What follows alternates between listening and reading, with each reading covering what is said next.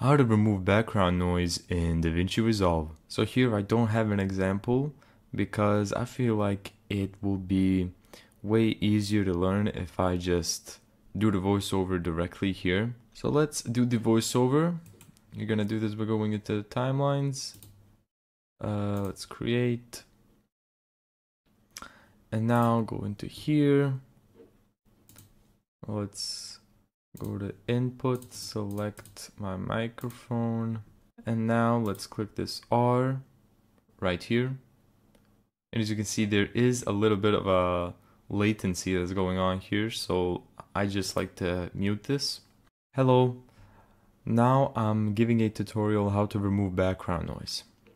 Now, what you want to do is leave a lot of space after you've done or before you do your voiceover. So, as I said in my voiceover, you do need a lot of space where you only have the background noise and not your voice, so that DaVinci can learn what your background is like dry and then try to remove it from your uh, voiceover. So, what you're gonna do is just select it, go into here, and then add effects right here. Effects, go to and then in restoration go to noise reduction. Click learn and then press space.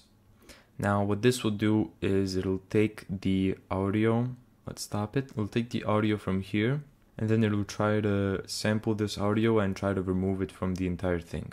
I'm gonna mute this right here and let's see hello now I'm giving a tutorial how to remove background noise now let's see what it was like before.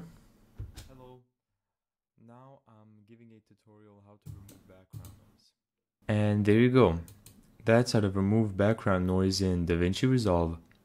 Thank you so much for watching this video. If you found this tutorial helpful, make sure to give it a thumbs up and subscribe. And as always, see you in the next video.